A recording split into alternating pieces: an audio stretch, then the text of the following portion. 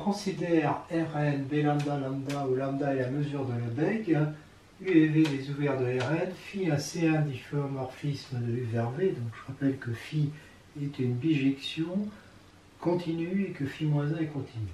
Donc l'image d'un ouvert est un ouvert. On note phi ses composantes euh, qui vont de U vers R. On note comme ça le vecteur générique de R puissance n. La matrice jacobienne de phi en x, c'est cette matrice-là. Et son jacobien, c'est le déterminant qui est non nul parce que on, sait que c'est un C1 difféomorphisme. Donc en fait, il garde même un signe constant. Donc elle est continue, donc lambda mesurable. On sait que nu de x est égal à ça est une mesure sur bu lambda qui est complète parce que lambda est complète.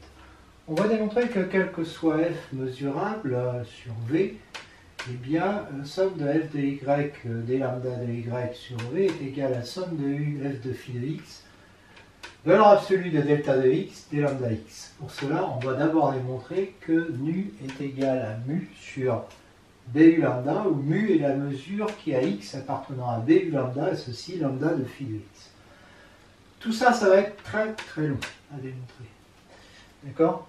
Alors, première remarque, phi est continu de u vers v, donc bu lambda, bv lambda mesurable. Donc si y appartient à bv lambda, phi moins 1 appartient à bu lambda. Phi-1 est aussi continu, donc euh, BV lambda, BU lambda mesurable, si x appartient à BU lambda. Puis le x que je peux écrire phi-1 de moins 1 de x va appartenir à BV lambda. Donc phi réalise une bijection, je vais la noter comme ça, hein, phi, de BU lambda sur BV lambda. Bon, c'est une application de U vers V, mais je la note de la même façon entre BU lambda et BV lambda. Mu qui a BU lambda vers R bar plus. Ceci, lambda de phi de x, est une mesure. Alors démontrons que euh, c'est une mesure, bah, mu de, vide est égal à lambda de phi de vide égale lambda vide égale 0, et si xn est une euh, famille disjointe d'éléments de BU lambda, euh, alors ce que je note U lambda, hein, c'est la restriction à U, de euh, B lambda. D'accord? Euh, Phi de l'union des xn est égale à l'union des phi de xn, et les phi de xn sont 2 à 2j joints car pour les différents de j, xi inter xj est égal à 8 parce que j'ai pris une suite disjointe, et donc phi de xi inter phi de xj est égal à 8. Il faut bien voir que phi est bijective. Hein. Donc phi de union des xn est égal à la somme des lambda de phi de xn. Et comme les phi de xn, oui, voilà, parce que les phi de xn sont deux à deux disjoints et que lambda est une mesure. Et ça, c'est exactement la somme de mu de xn. Donc, mu est bien une mesure. Elle est complète, cette mesure. Démonstration, si x appartient à p de mu et mu négligeable, il existe y appartenant à bu lambda, x incluant y et mu de y égale 0. Donc, euh, lambda de phi de y est égal à 0, mais phi de x est inclus dans phi de y. Phi de y appartient à bv lambda. Lambda de phi de y est égal à 0, et lambda est complète Donc, euh, phi de x va appartenir à bv lambda. Et donc, x va appartenir à bv lambda. Donc, j'ai démontré que mu est complète. Alors ce qu'on va démontrer, et tout ça, ça va être long, on va d'abord démontrer dans un premier temps que mu est absolument continu par rapport à lambda sur bu lambda. C'est-à-dire que si x appartient à bu lambda et que lambda x est égal à 0, alors u de x est égal à 0.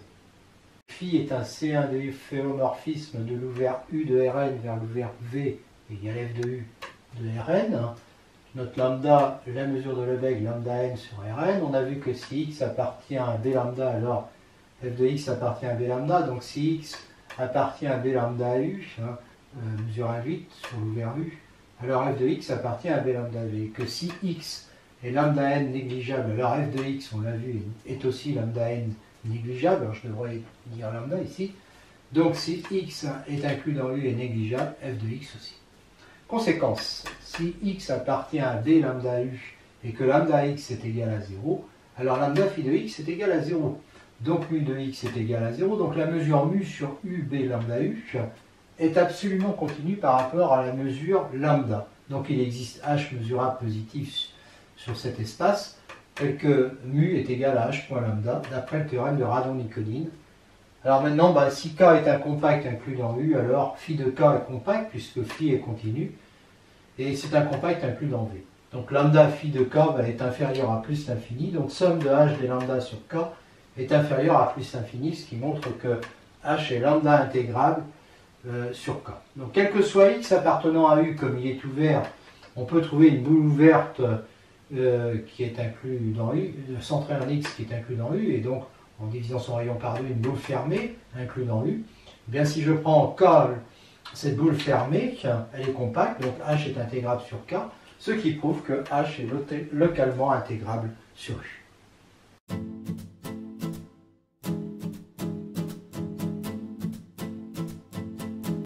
Avant de démontrer le théorème de changement de variable avec euh, une fonction euh, de classe euh, C1, un difféomorphisme de classe C1, on va d'abord le démontrer avec des automorphismes de Rn.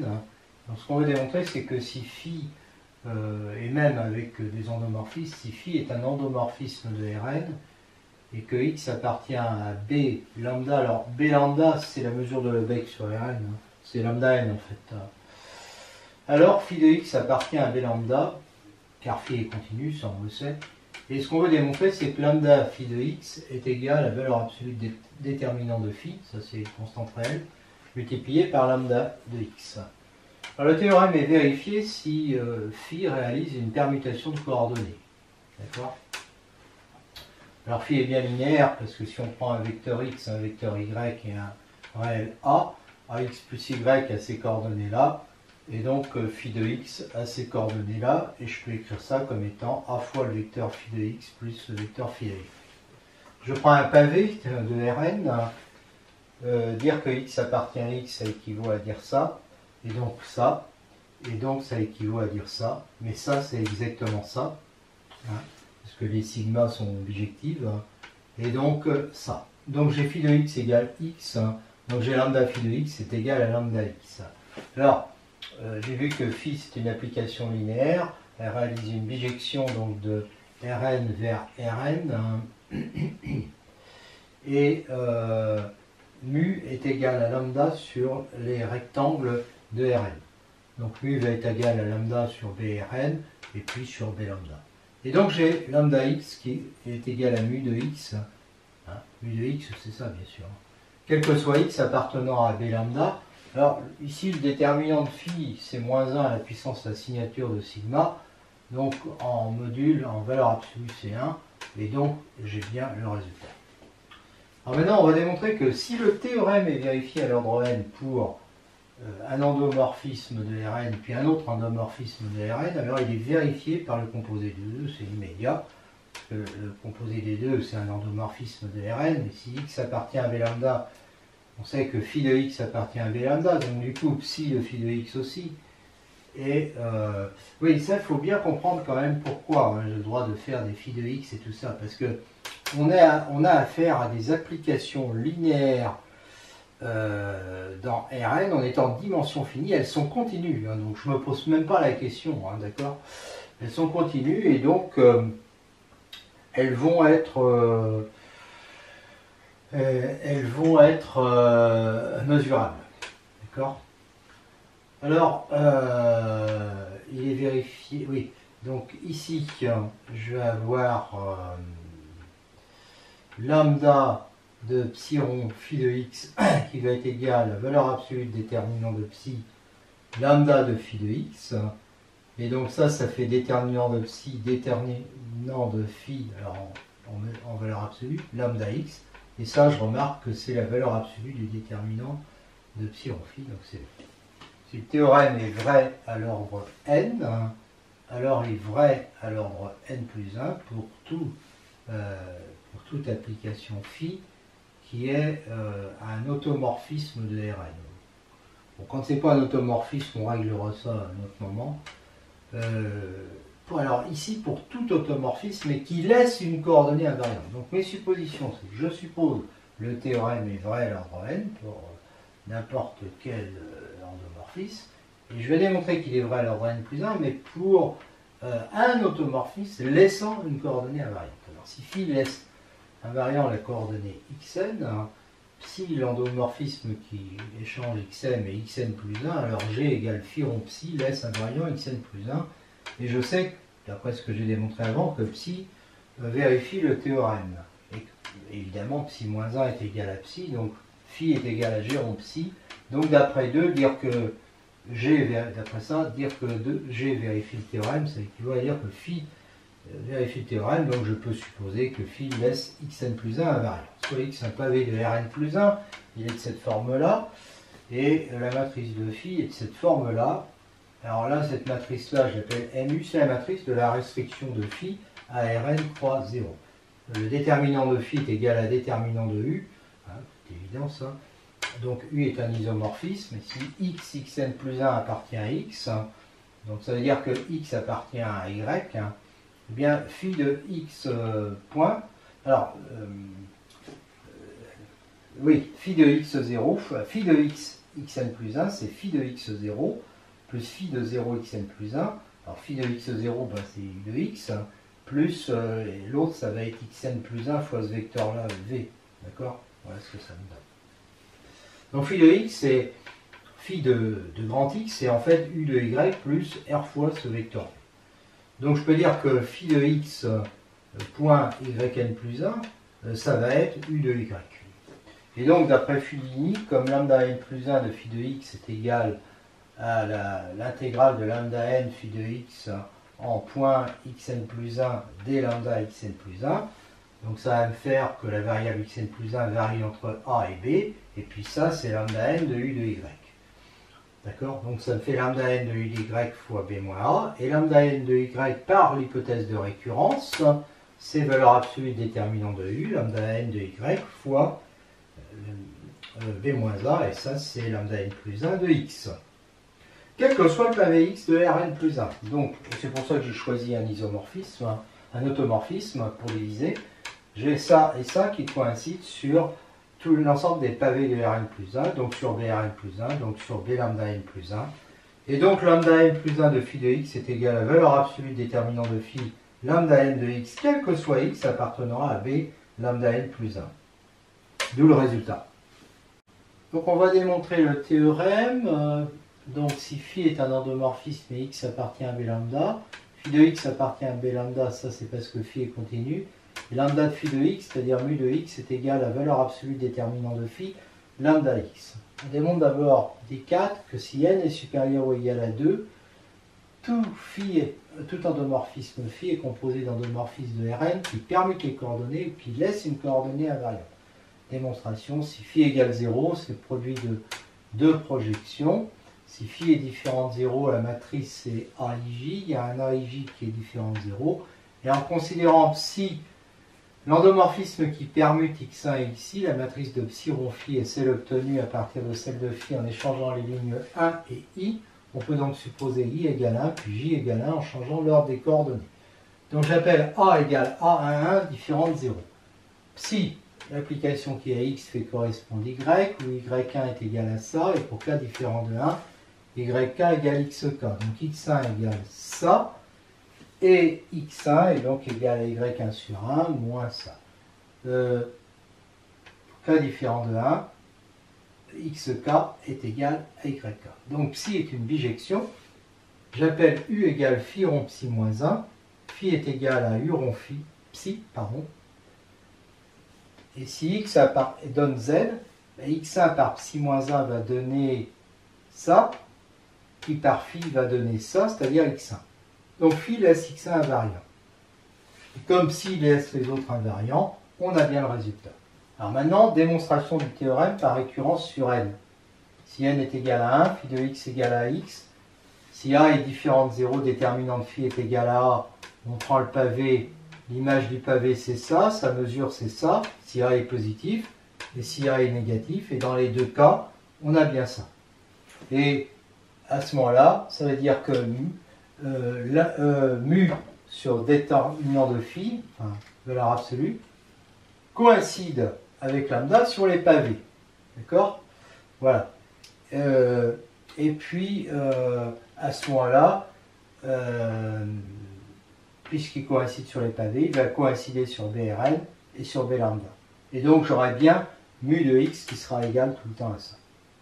Alors maintenant, ça reste vrai cette formule-là si A est égal à 0, parce que si A égale 0, le déterminant est nul, et phi de x est réduit à ça. Donc lambda de ça, ça fait 0. Donc 0 égale 0, la tête à Toto. Si n supérieur à 1, on suppose le théorème vrai à l'ordre n, les résultats précédents qu'on a démontrés montrent de façon évidente que c'est vrai à l'ordre n plus 1 pour tout pavé de Rn plus 1. Donc on a ça pour tout pavé. Donc si phi n'est pas inversible, bah, si phi n'est pas inversible, on sait déjà que le théorème est vrai. Et sinon, bah, on considère mu sur des... mu c'est ça. Hein. divisé par déterminant de phi, bah, c'est le même raisonnement que je viens de faire. Et lambda qui coïncide pour tout pavé donc sur BRN plus 1, puis sur B lambda, et donc on obtient le résultat.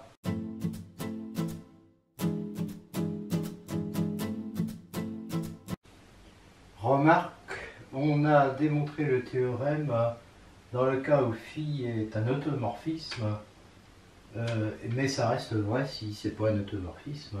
En effet, si phi n'est pas bijectif, phi de Rn est de dimension inférieure à n, et si n est supérieur ou égal à 1, euh, si n supérieur ou égal à 1. Donc phi de x est inclus dans un hyperplan de Rn, et donc euh, la mesure de phi de x va être nulle parce que la mesure de l'hyperplan va être nulle, ce qu'on va démontrer après. Mais comme en plus euh, elle n'est pas objective, ça c'est égal à 0, et donc on a bien l'égalité. Alors pourquoi est-ce que quand on a un hyperplan, sa mesure est nulle? Eh bien, si n est supérieur à 1, l'équation de l'hyperplan ça, il y a un il y a un des AK qui n'est pas nul, euh, par exemple A1, et donc euh, l'équation revient à ça. À ce moment-là, euh, on s'intéresse à h égale phi moins 1. Alors h est égal à phi moins 1 de 0, où phi est donné par ça. Hein. x donne somme des AK xk moins b, qui est continue, donc mesurable, donc h appartient à BA lambda, euh, non, h2 euh, point. Alors point, ça veut dire qu'on que, la variable x1 est libre. D'accord? Alors ça, par contre, c'est fixé. Donc la variable x1, ben, justement, il n'y a pas le choix. Ça peut être que euh, b sur a1 moins ça. Donc en fait, cet ensemble-là, il est réduit à un point. Et donc de, de mesure nulle. Hein, puisqu'on est sur la mesure de Lebesgue. Et Fubini nous dit que lambda n de h est égal à lambda de à somme de lambda de ça, des lambda n moins 1 de ça. Donc on intègre en fait des zéros. Donc ça fait 0. Et si n égale 1, bah, ça a déjà été démontré que, phi soit bijectif ou pas, ça a déjà été démontré. Il nous faut maintenant démontrer le théorème de changement de variable qui dit que pour un ouvert U de Rn, si phi est un C1 difféomorphisme de l'ouvert U vers l'ouvert V, alors quel que soit x appartenant à b lambda U, euh, lambda phi de x est égal à la somme sur x de valeur absolue du, déterminant du jacobien de phi en x, d lambda x. Si le théorème est vrai à l'ordre n, on va d'abord démontrer que si le théorème est vrai à l'ordre n pour un difféomorphisme phi, alors il est vrai pour le difféomorphisme psi rond phi ou psi euh, est un automorphisme de, Rn, donc appartient à GLN de R. Démonstration, si on phi est évidemment une bijection, et euh, c'est même un C1 difféomorphisme parce que psi en est un, et soit x appartenant à b lambda u, lambda de psi rond phi de x est égal à lambda de psi de phi de x égale déterminant de psi lambda de phi de x. Donc lambda de psi rond phi de x est égal à valeur absolue de déterminant de psi multiplié par cette intégrale. Et donc je fais rentrer le déterminant dedans. Et comme psi est linéaire, je peux dire que d psi en x est égal à psi, quel que soit x appartenant à Rn. Donc le jacobien de psi de x est psi. Et donc euh, là, j'ai le produit des deux jacobiens en fait. Hein.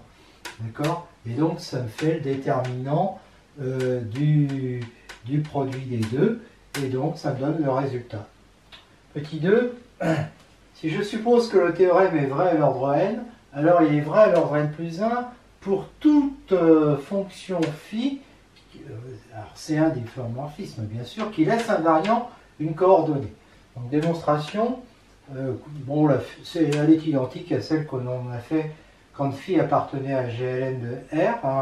Donc on se ramène au cas où la variable xn plus 1 est invariante. On note phi k les composantes de phi. Phi n plus 1 de x est égal à xn plus 1 quel que soit x. Donc euh, rond phi n plus 1 sur rond xk de x est égal à 0 si k est différent de n plus 1, il est égal à 1 autrement. Et donc j'ai le jacobien de phi qui va être de cette forme-là, où u est la restriction de phi à Rn croix 0 interus. C'est une bijection, bien sûr, parce que le déterminant de j de u de x, c'est le déterminant de j de phi en x, xn plus 1, et lui, il est non nul, quel que soit xn plus 1. Alors on a encore phi de point xn plus 1 qui est égal à u de y, et Fubini nous dit que lambda de phi de x est égal à somme de a b de lambda de phi de x point xn plus 1 d lambda xn plus 1. D'accord? Et donc ça nous fait somme de a b de lambda n de u de y dxn plus 1, donc ça nous fait ça. Et euh, donc lambda phi de x va être égal à b moins a, parce que là maintenant j'applique la récurrence sur u, déterminant du jacobien de u en y d lambda n en y, j'appelle cette fonction f de y, et donc je me retrouve avec ça, et c'est-à-dire avec une fonction comme ça, h, hein, où h est défini par h de y xn donc appartenant à y croix à b, donne f de y fois 1 euh, de xn, c'est-à-dire 1. D'accord? Donc j'ai lambda n plus 1 qui est produit de lambda n et lambda, et donc euh, j'ai ça. Et donc f de x fois 1, comme c'est égal à déterminant de j de u en y fois 1, ça nous fait le déterminant de j phi de x, hein, parce que déterminant, euh, ce déterminant est, égal à celui-là. Et donc ça me fait tout de suite que lambda de phi de x est égal à somme sur x de valeur absolue déterminant de j de phi en x d, lambda n plus 1 de x, quel que soit le pavé. Donc après, c'est les démonstrations classiques, je ne refais pas. Donc quel que soit le borélien quel que soit x appartenant à b.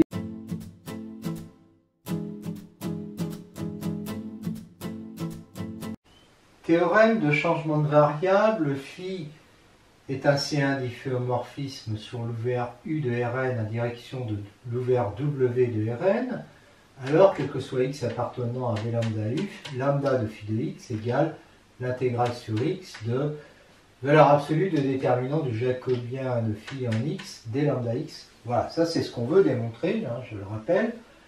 Alors ce qu'on voit c'est que le théorème est vrai à l'ordre 1, en effet si je prends un pavé, un, euh, phi prime ne s'annule pas, donc garde un signe constant. Et évidemment, euh, euh, le déterminant du jacobien ici, ça va être phi de x en valeur absolue.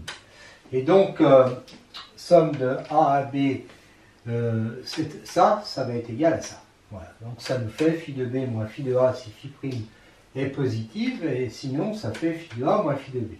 Alors dans le cas où phi prime est positif, phi est croissant, et donc, on obtient bien euh, phi de b moins phi de a, c'est bien la mesure de ça. D'accord? Donc, c'est lambda de phi de x, et c'est ce qu'on veut. Et puis, dans l'autre cas, eh bien, c'est lambda de ça, et car phi est décroissant, et donc ça fait aussi lambda de phi de x. Donc, on a bien le résultat à chaque fois qu'on prend un pavé. Donc, après, avec le raisonnement habituel, ça marche pour tout x appartenant à d lambda.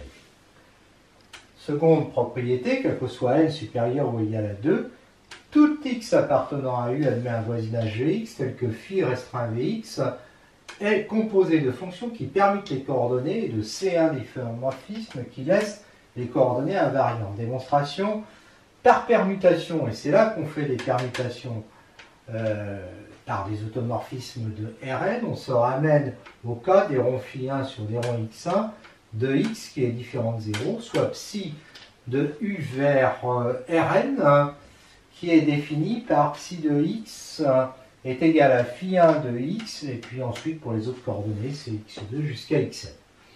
Donc ça c'est C1, parce que phi1 est C1. Et le jacobien est égal, bah là je dérive par rapport à, je dérive par phi1 par rapport à toutes les variables, puis pour les autres, bah, ça fait 1 à chaque fois. Donc j'obtiens ça de déterminant des ronds phi1 sur des ronds x1 de x différents de 0. Donc d'après le théorème d'inversion locale, il existe V1 inclus dans U, tel que psi restreint à Vx, noté psi, hein, pour, pour, surcharger, réalise un C1 difféomorphisme de V de x, de Vx vers psi de Vx, que j'appelle Wx, hein, soit U euh, de phi, euh, U égale phi rond psi moins A de Wx dans phi de Vx. C'est un C1 difféomorphisme par composition. Psi est un difféomorphisme, donc phi1 est bijectif sur Vx. Psi moins 1 de x1 jusqu'à xn, ça va être y1 parce que tous les autres sont conservés, x2 jusqu'à xn, ou psi de y1 jusqu'à là est égal à ça. Donc phi1 de ça, bah, ça nous fait x1. Bon, euh, et u de x1 jusqu'à xn, ça va donc être phi de... Alors, psi moins 1, j'ai dit que c'était ça. Donc, ça fait phi de ça. Et phi de ça, c'est ça. D'accord? Mais ça, c'est x1. Donc, je vois que u laisse un variant x1. Et phi, c'est u, ça, ça vient de là, c'est u rond psi.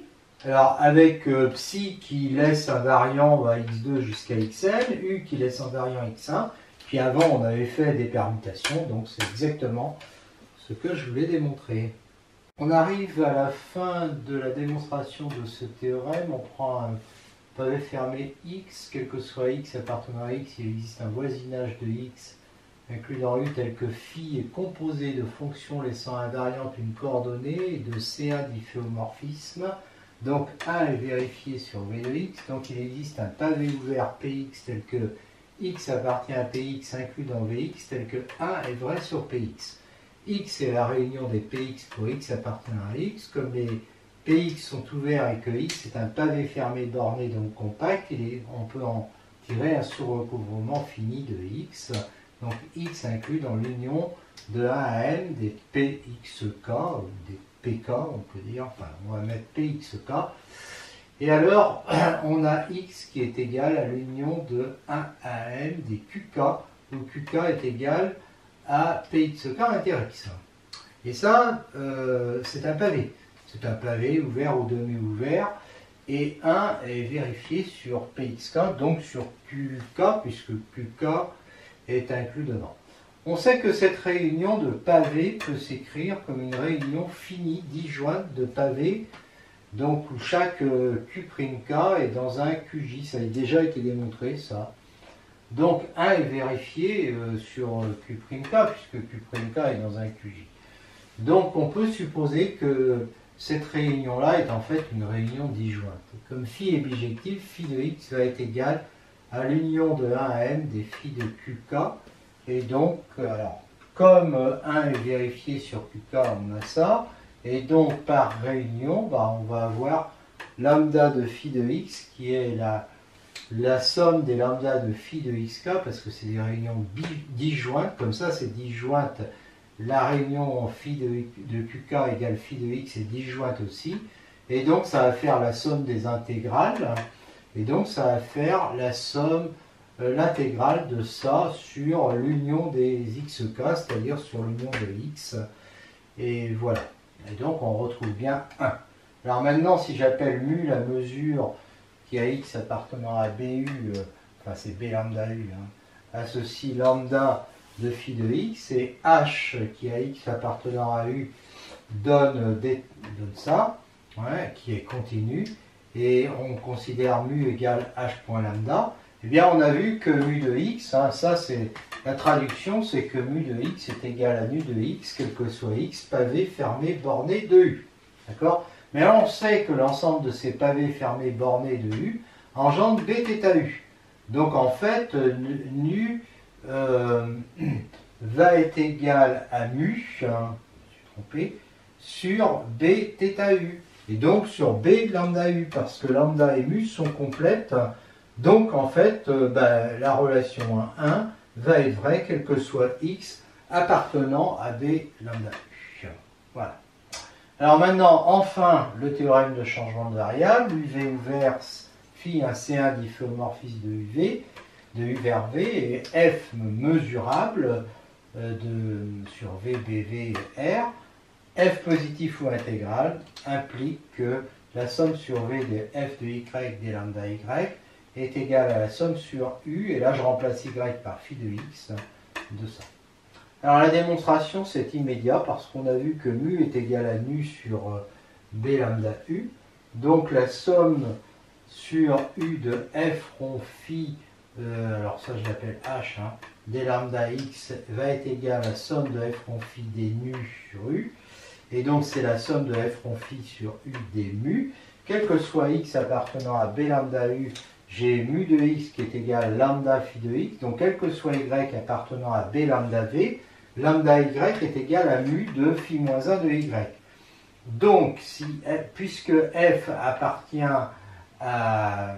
Si f est mesurable positif, hein, positif, pardon, eh bien la somme de f des lambda va être égale à la somme de f rond phi, enfin sur, v, va être égale à la somme de f rond phi des mu sur u.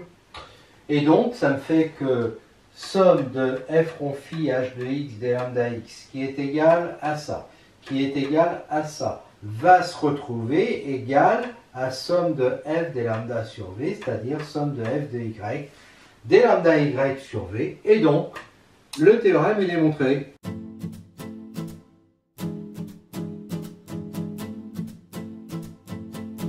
Voyons maintenant le passage en coordonnées polaires dans le plan R2. On a un disque de rayon R positif, une fonction f de d vers R, BR2, BR mesurable positive ou intégrale.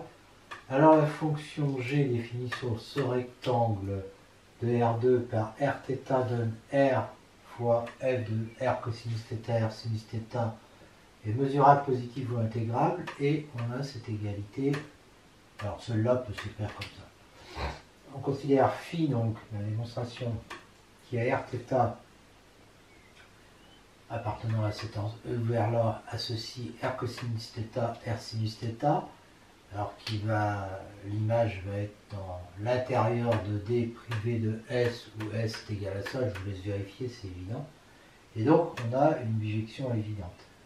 Et phi moins 1 euh, c'est l'application qui a xy appartenant à d privé de s associé r θ avec r qui va forcément être égal à racine carrée de x2 plus y2 et d'état qui va être déterminé en fait ça va être une détermination continue de l'argument de ce nombre complexe hein. donc ça va être psi moins 1 de x sur r plus y sur r ou psi c'est l'application qui θ appartenant à 0 de pi associe le nombre complexe exponentiel iθ. Bon, là, je conseille de voir le cours sur euh, l'ensemble des nombres complexes où je parle de la détermination continue. En fait, ça, c'est un homéomorphisme de ça vers ça, c'est-à-dire que psi est bijective, psi, psi moins 1 sont continus, et psi est ce qu'on appelle une détermination continue de l'argument. Donc euh, xy donne ça est continu, et psi moins 1 est continu. Donc euh, le phi moins 1 de xy qui est égal en, fait à ça, à r et à θ qui est ça, va être continu parce que ici on a euh, psi moins 1 qui est continu. Voilà. Donc phi est un homéomorphisme, c'est-à-dire une bijection, et phi et phi moins 1 sont continus. De plus, phi est de classe C1 sur 0R fois 0,2 pi, car euh, d rond phi sur d rond R de Rθ est égal à ça, d rond phi sur d rond θ, donc ça sont les dérivés partiels est égal à ça, sont de classe C1. Et enfin, le jacobien est donné par cette matrice, et donc son déterminant c'est R positif, ne s'annule pas. Donc phi va être un C1 du c'est-à-dire une bijection, plus phi et phi moins 1 continu, différenciables et les différentiables sont continus. Ça, c'est le résultat du cours sur, euh, bah, les, un chapitre euh, qui parle notamment des fonctions implicites. Voilà, et qui parle des difféomorphismes. Donc, on va avoir en application euh, du théorème de changement de variable, on va avoir exactement ça. Et notamment, on va avoir que f rond phi, f rond phi de rθ multiplié par ça, c'est une fonction qui est, alors c'est celle-là, hein, qui est une fonction qui va être mesurable positive si on part de f mesurable positive, et sinon elle va être intégrable si on part de f intégrable. Voilà. Et on a cette égalité. Alors, on doit noter que D, c'est cette réunion, avec C qui est le cercle, l'ensemble des xy, tel que x2 plus y2 est égal à 1. On sait que C et puis S, alors S, je rappelle que c'est le segment hein, que j'ai défini ici, euh, sont évidemment euh, mesurables et qui sont lambda 2 négligeables. Donc en fait, la somme sur D est égale, hein, cette somme-là, est égale à la même que celle-là. D'accord? Quant à celui-là, ben, je peux écrire ça. Hein. Je vous laisse vérifier avec A qui est 0R 3 0,2pi, qui appartient à VR2, de mesure 0 fois 2pi, c'est-à-dire 0. Et puis B qui est égal à 0R euh, croix 0,2pi, donc le segment fois ça, qui appartient aussi à VR2 et qui a pour mesure R multiplié par 0 égale 0. Donc en fait, euh, euh, cet ensemble-là euh, et puis celui-là ont la même mesure, c'est pas une surprise, donc on a ça qui est égal à ça. D'accord? Donc en fait, quand j'ai écrit ça, ben, je peux remplacer ça par D, et là quand j'écris ça, je peux remplacer ça par 0,2pi, 0R croix 0,2pi, et à ce moment-là, j'obtiens exactement ça. Et le théorème. Et maintenant le passage en coordonnées sphériques, on a la boule de centre haut et de rayon R positif une fonction f mesurable, positive ou intégrable. Alors la fonction g est définie sur ce rectangle par ça, est mesurable, positive si f est positive, intégrable si f est intégrable. Et on a cette relation-là de changement de variable. Démonstration, eh bien on considère l'application phi, alors là on met des ouverts partout, et on voit que c'est une bijection de classe C1, alors elle est continue, c'est évident, de l'intérieur de R, hein, hein, puisque le rectangle R c'était ça, vers la boule privée de OZ. On va voir pourquoi. En effet, on passe des relations x égale R sinus θ cosinus phi, y égale R sinus θ sinus phi, z égale R cosinus θ, par euh, R égale racine carrée de x2 plus y2 plus z2, et puis pour θ et phi, par θ égale arc cosinus de x sur r, hein, et phi euh, qui est défini comme étant l'argument, et ça c'est encore continu, hein, de x plus y, c'est-à-dire ça. Donc phi moins 1 va être continu et phi va être un homéomorphisme. A ici sur le dessin, d'accord? Donc il ne faut pas qu'il soit sur OZ parce qu'il ne faut pas que. Alors il ne faut pas que R soit nul, hein, d'accord? Il ne faut pas être en haut. Et puis, il ne faut pas que phi non plus soit nul ou égal à pi. Donc voilà pourquoi on a enlevé le z. Ensuite, on a ces trois relations, je vous laisse vérifier, on dérive par rapport à r, θ et phi, et on obtient euh, les résultats qui sont de classe C1, et donc on peut dire que euh, alors, on peut dire que, phi va donc être de classe C1, et que le jacobien, on voit la matrice jacobienne plutôt, est égale à ça. Hein, on reprend la première ligne, deuxième, troisième. Et son déterminant, je vous laisse faire le calcul, j'ai développé par rapport à la dernière ligne. Et on trouve R2 sinus θ qui est différent de 0, parce que R est différent de 0 et θ est différent de 0 et de. Voilà, donc on peut appliquer le théorème de changement de variable. Phi étant un, c'est un difféomorphisme, on sait que la somme sur ça est égale à ça. Et donc elle va être égale à ça parce que là j'ai oublié de dire multiplié par le déterminant. Euh, bah, le déterminant, voilà, je le mets comme ça parce que. Alors, le déterminant c'est R2 sinus θ. Et donc ça fait G F rond phi, bah, c'est G en R θ phi, puis évidemment, j'intègre par rapport à R θ et phi. Et ça, ça va impliquer ça.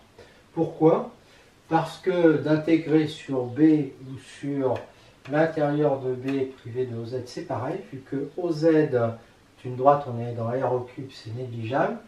Puis l'intérieur, c'est la surface de la boule. Hein. Euh, donc c'est le disque. Et ça, c'est défini par cette relation. là, on a un polynôme. Et on a déjà vu que ce genre de relation, ça nous donne un nombre, un ensemble qui est négligeable. Donc ça, c'est négligeable. Donc je peux remplacer ça par B et ça par R. Et euh, par B, pardon. Et puis ça, je peux remplacer par R parce que, évidemment, le bord euh, du rectangle est aussi négligeable parce que c'est la réunion euh, de, de, comment, de, segments, en fait. Voilà. Donc, euh, on a bien son résultat. Exemple d'utilisation des coordonnées polaires avec cette intégrale. D est la boule de, ouvert ou fermé de centre 0 et de rayon 1. Donc on fait le changement polaire, et donc XY devient comme ça, et puis il va y avoir R dθ dr. J'intègre d'abord par rapport à θ, donc je change sinus θ, cosinus θ, donc sinus de θ sur 2, ça s'intègre en θ moins R2 cosinus de θ sur 4, donc en 2π, euh, ça fait 2π, ici, moins, euh, ça c'est R1 moins R2 cosinus de 2pi, bah, moins R2 sur 4, plus R2 sur 4 en 0. Et donc ça fait euh, finalement 2 pi R que j'intègre par rapport à R, donc ça fait pi R2 entre 0 et 1, et donc ça fait pi. Intégrale de Gauss-Laplace, donc qui va être très utile euh, en probabilité avec la loi normale. On a ce résultat bien connu, qu'on a déjà démontré plusieurs fois. Convergence, donc en plus moins l'infini car pour valeur absolue de x grand, exponentielle moins x2 est inférieur à 1 sur x2, qui est, qui est intégrable en plus infini moins l'infini. i carré, bah, ça va faire ça, donc d'après Tonelli, ça fait ça. Et là, je fais le changement polaire. Alors si je me place sur la boule de centre O et de rayon R, eh bien ça, ça va être égal à ça. Et là, j'intègre euh, d'abord par rapport à R, donc euh, R exponentielle moins R2. Bah, primitif, c'est moins exponentielle moins R2 sur 2, entre 0 et R. Puis j'intègre par rapport à θ. Donc ça fait moins exponentielle moins grand R2 sur 2. Euh, plus, plus 1, en 0, ça fait plus 1 sur 2, donc ça fait ça, que j'intègre par rapport à θ, bah, ça revient à multiplier par 2pi. D'accord? Quand grand R tend vers plus l'infini, ça, tend vers ça tend vers 1. Euh, D'accord? Ça, ça tend vers 1. Et donc, ça fait 2pi sur 2, c'est-à-dire pi. D'accord? Et quand grand R tend vers plus l'infini, bah, c'est justement, c'est la boule de, rayon infini, donc c'est R2. Donc, ça veut dire que i carré est égal à pi. Et donc, i est égal à racine de pi.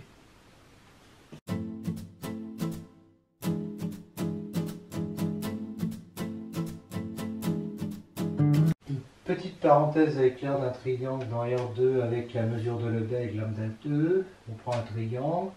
Par une rotation, on se ramène à baisser parallèle aux abscisses, par une translation à baisser sur les abscisses, et par une autre translation à B en haut. On ne change pas les mesures parce que ce sont des isométries, voire la démonstration du théorème de changement de variable. On peut même se ramener à YA positif, XC positif en faisant des symétries par rapport à l'axe vertical ou horizontal. À la fin, on a ce triangle-là qui est réunion de deux disjoints, d'un triangle fermé OHA et d'un triangle semi-ouvert HAC. Alors en fait, on se fiche de savoir qu'ils sont fermés ou ouverts parce que les côtés dans R2 sont inclus dans des droites de mesure nulle, donc eux-mêmes sont mesure nulle. Donc le triangle OH, en prenant ces notations, l'intérieur c'est ça. Il est fermé parce que si xn, yn tend vers xy, le fait d'avoir ça, ça implique ça, le fait d'avoir ça, ça implique ça. Donc xy appartient bien à l'intérieur et donc OH appartient à BR2 puisque OH est fermé. Sa mesure va être donnée par ça. Et donc ça veut dire que comme y va varier entre ça et ça, enfin y1, je veux dire, on fait la voilà. Et puis x entre 0 et xa. Et donc ça nous fait ça. Je vous laisse regarder, c'est immédiat. Et donc ça fait finalement OH fois HA sur 2. Le triangle demi-ouvert par symétrie puis translation, on se ramène à ça, on applique la même formule. La mesure va être égale à AH fois HC sur 2. Et donc, quand on fait la réunion des deux, eh bien, on obtient OH plus HA sur 2 plus AH fois HC sur 2, qui nous fait AH, vecteur de OH plus HC, c'est-à-dire OC, sur 2. Et donc, on obtient base fois hauteur divisé par 2. Ce qu'on avait déjà obtenu pour chacun de ces deux triangles, hein, parce que là, c'était bien base fois hauteur divisé par 2 pour OH, et pour l'autre pareil. Voilà, donc on retrouve la fameuse formule du triangle. Donc la mesure d'un triangle comme ça, eh bien c'est sa hauteur AH multipliée par la base BC divisée par 2. Alors suivant qu'on change de base, hein, il y a trois formules possibles, mais elles donneront le même résultat évidemment. L'aire du triangle est égal à base fois hauteur divisée par 2.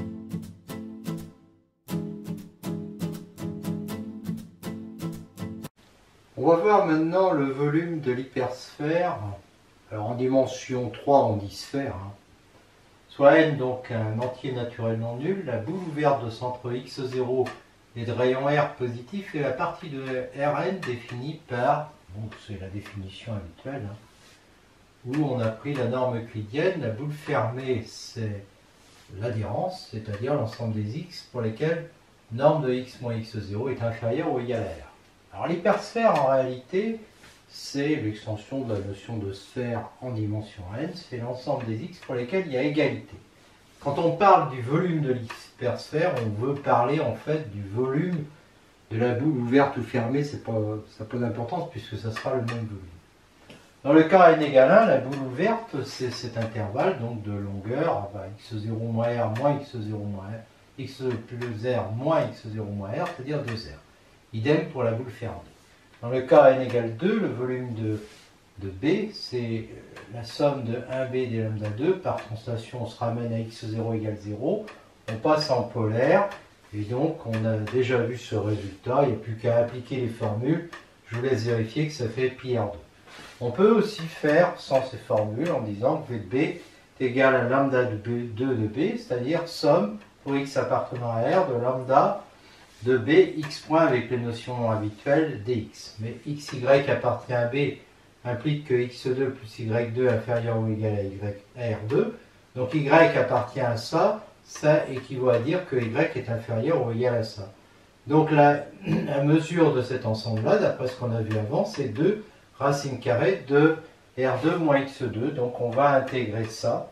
Donc euh, bah, c'est deux fois la somme de 0 à r on prend x et on fait le changement x égale r sinus t.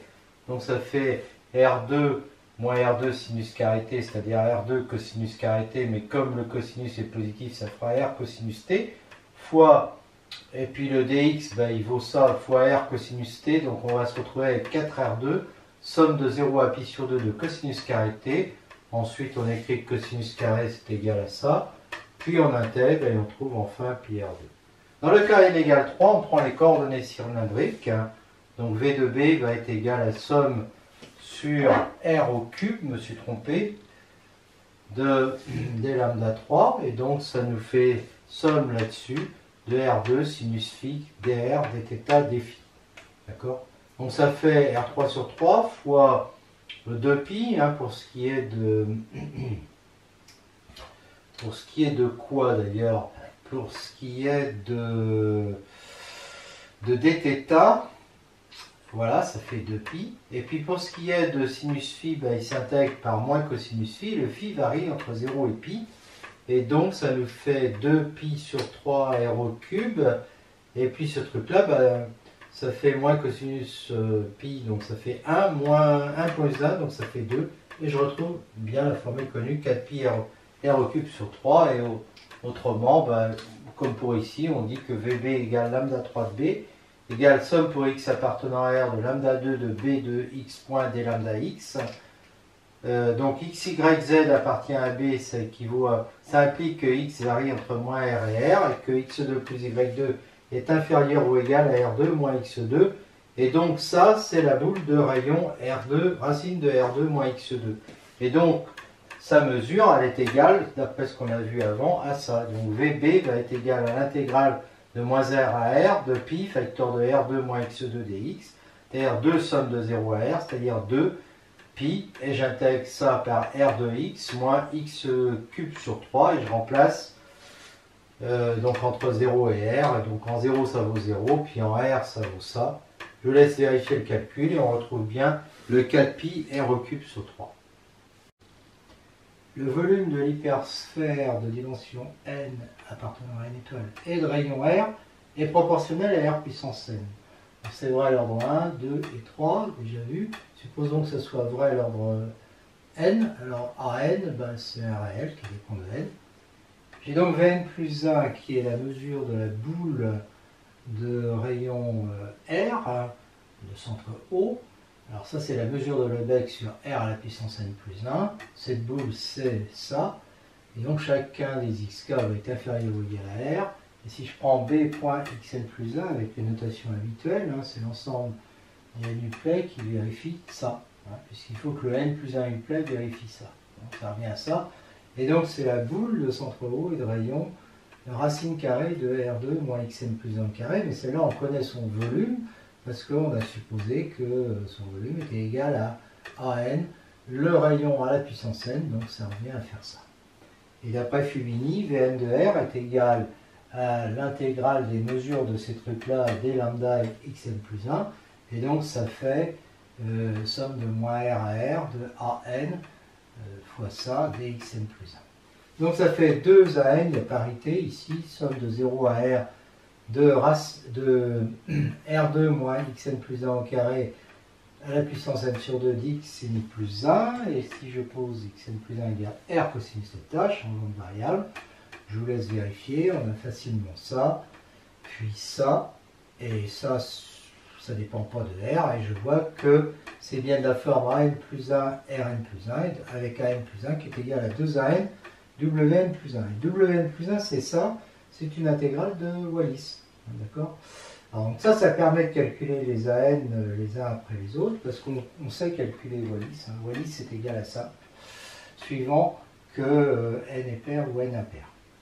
La remarque pour R égale 1, ben, Vn plus 1 de 1 est égal, alors là j'utilise euh, euh, Vn plus 1 de 1 est égal à 2an fois ça. Donc ça, ça provient de n plus 1 de 1 égale 2an. Voilà, c'est ça. Mais 1 dit que Vn de 1 est égal à n fois 1 bah, est égal à n. Et donc, je vais obtenir ça. D'accord? Et, donc, je vais m'intéresser à ça. Je prends x égale racine de u, changeant de variable à nouveau, et ça fait Vn plus 1 de 1 qui est égal à 2Vn de 1, somme de 0 à 1, de 1 moins u à la puissance n sur 2, et puis là il faut dériver, hein, dx égale 1 sur 2 racine de u du, donc ça fait ça. Et donc ça fait ça. Et soit ça converge encore en 0, hein, parce qu'en 0 c'est équivalent à u à la puissance moins 1 qui s'intègre par du lambda racine de u, 2 racine de u. Donc ça, bah, je reconnais la fonction bêta en n sur 2 plus 1, 1 demi. Fonction bêta qui est définie, là j'ai fait un chapitre là-dessus. Alors j'ai fait un chapitre sur Wallis hein, qui me permet de calculer ça. Et pour bêta, j'ai fait un, chapitre aussi. C'est un chapitre sur la fonction bêta et la fonction gamma de l'air. Et donc la fonction bêta est définie comme ça pour x et y positif. Et elle est égale à gamma x, gamma y sur gamma x plus y, où gamma est la fonction de l'air, définie comme ça pour x positif. Alors, fonction qui a la propriété de vérifier gamma n égale factoriel n moins 1 dès que n est un entier naturel supérieur ou égal à 1. Vn plus 1 de 1 est égal à ça, donc est égal à ça, et je vais calculer gamma de 1,5. Je remarque que bêta en 1 demi 1 demi est égal à gamma de 1,5, gamma de 1,5 sur gamma de 1 qui vaut 1, donc ça fait gamma de 1,5 au carré, et ça, c'est égal à ça. D'accord? Alors c'est égal à ça, ça, ça vient de là, hein. et je vais faire le changement t égale sinus carré, comme ça, ça va supprimer les carrés, les puissances à demi, pardon, et donc je vais me retrouver, je vais les vérifier, avec ça, d'accord? Et donc ça me fait pi, et donc gamma de 1,5 est égal à racine de pi, parce que gamma de 1,5, évidemment, il est euh, positif. Hein. Gamma, c'est ça. Donc, euh, j'obtiens que Vn plus 1 de 1 est égal à Vn de 1 fois racine de pi fois gamma de n sur 2 plus, gamma en n sur 2 plus 1 divisé par gamma en n sur 2 plus 3,5. Et on va continuer. Le volume de l'hypersphère vient avoir montré que Vn de R est égal à pi à la puissance n sur 2 gamma en n sur 2 plus 1, r puissance n. On sait que Vn de R est égal et proportionnel à Rn, donc est égal à ça.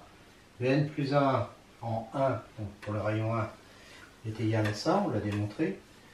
Gamma de 1,5, parce que je vais en avoir besoin, est égal à ça. J'intègre par partie, je vous laisse vérifier. Et on trouve facilement que ça fait 2 gamma de 3,5, d'où on tire que gamma de 3,5 est égal à racine de pi sur 2. Alors on va montrer maintenant que Vn de 1 est égal à pi à la puissance n sur 2 sur gamma n sur 2 plus 1, quel que soit n supérieur ou égal à 1. Pour n égale 1, Vn de 1 est égal à 2, et 2 je peux l'écrire racine de pi sur racine de pi sur 2, c'est-à-dire pi à la puissance 1,5 sur gamma à la puissance 3,5, donc la relation est vraie à l'ordre 1, et c'est pour ça qu'on a calculé gamma de 3,5. Supposons qu'elle soit vraie à l'ordre n, donc on a Vn plus 1 qui va être égal à Vn de 1, bah, j'ai supposé que c'était vrai à l'ordre n, donc ça fait ça, multiplié par racine de pi, multiplié par ça, les deux se, suppriment, je trouve pi à la puissance, alors là ça fait un pi à la puissance 1,5 en plus, et puis là, euh, ça je peux l'écrire n plus 1 sur 2 plus 1. Et donc par rapport à ça, bah, j'obtiens bien que la propriété est vraie à l'ordre n plus 1, donc par récurrence elle est toujours vraie, et comme Vn de R est égal à Vn de 1 multiplié par R puissance n, bah, ça nous fait ça. D'où le résultat. La formule Vn plus 1 de 1 égale 2Wn plus 1, euh, c'est l'intégrale de Wallis, hein. Vn de 1 permet de calculer successivement tous les termes. Alors, à partir de ça, on pourrait aussi trouver une grosse formule hein, euh, qui permettrait de calculer les, Vn de 1. En fait, euh, on calculerait Vn plus 2 en fonction de Vn de 1. Bon, c'est pas très compliqué d'ailleurs. Bon, mais on peut le faire, de toute façon on n'utilise pas tous les jours euh, les, volumes des hypersphères. On peut le faire pour V4 et puis pour V5, histoire de voir. V4 de 1 est égal à 2 W4 V3 de 1, parce que cette formule a le défaut qu'on connaît, pas facile de travailler avec la fonction de l'air.